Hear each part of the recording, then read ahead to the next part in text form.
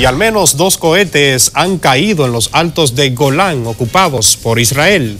Los cohetes han sido disparados desde el Líbano o Siria, dijo un portavoz militar israelí. Minutos antes se reportó que sonaban las sirenas antiaéreas en las localidades eh, norteñas de Israel, según la defensa de Israel. Según datos preliminares, los, o los bombardeos no han causado daños ni víctimas mortales. Sin embargo, las autoridades han ordenado la evacuación de los habitantes en la zona.